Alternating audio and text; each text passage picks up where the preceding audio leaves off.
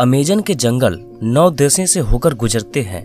इन जंगलों का करीब 60 फ़ीसदी ब्राज़ील 13 फ़ीसदी पेरू 10 फ़ीसदी कोलंबिया और बता दे कि पृथ्वी पर जितने जीव हैं उसके एक तिहाई को एक साथ आप अमेजन के जंगल में ही देख सकते हैं।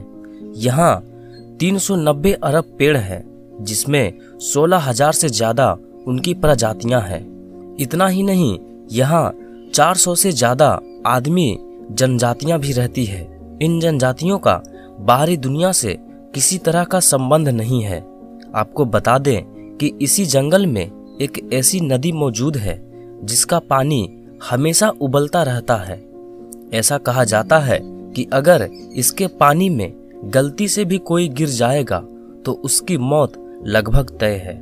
पेरू में मौजूद इस रहस्यमय नदी की खोज भूवैज्ञानिक आंद्रे रूजो ने साल 2011 में की थी। वैसे तो दुनिया भर में बड़े बड़े सांपों को देखने के बारे में कहा जाता है। अमेजन जंगल में बड़े सांप मौजूद हैं, जिन्हें लोगों ने देखा है। अमेजन जंगल के आदिवासियों की माने तो यहाँ विशालकाय सांपों का होना आम बात है।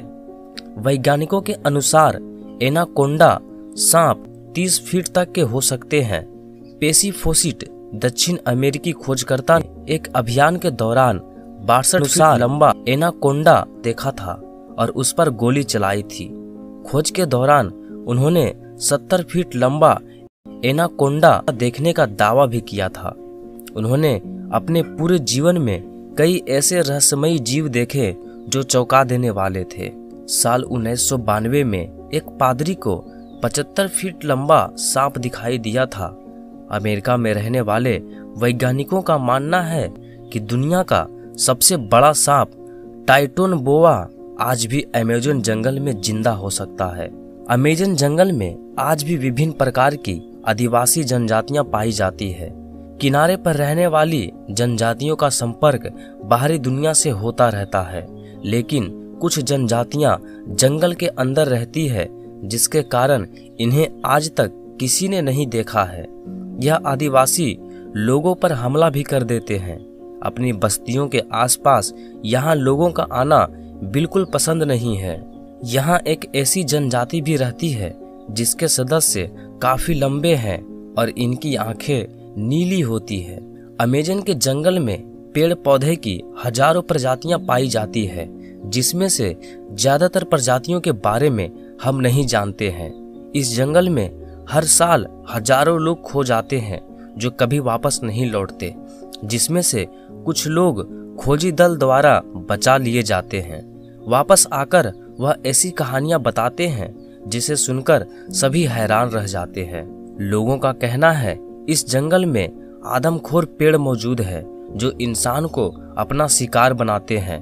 जंगल के अंदर ऐसे विशालकाय, खतरनाक पेड़ हैं। कई मछुआरे ने ऐसे पेड़ों को देखा है। कुछ लोगों का यह भी मानना है, आदिवासी जनजातियों इंसानों को पकड़कर शिकार बनाकर उनकी बलि चढ़ा देते हैं। कई लोगों ने बड़ी मकड़ियों को इंसान का शिकार करते हुए देखने का दावा भी किया है। यहाँ जहरीले मेढक भी पाए जाते हैं। जहरीले मेढक सुनकर आप भी चौक गए होंगे कि जहरीले मेढक भी होते हैं। जी हाँ दोस्तों, अमेजोन के जंगल में सैकड़ों तरह के जहरीले मेढक भी पाए जाते हैं। रंग बिरंगे देखने वाले ये मेढक खूबसूरत दिखने के साथ साथ काफ़ी खतरनाक भी होते हैं। इनके अंदर काफ़ी जहरीला जहर होता है, जो किसी भी इंसान की जान लेने के लिए काफ़ी है। अमेजन जंगल की बात हो और बुलेट चीटियों की बात ना हो, ऐसा हो नहीं सकता।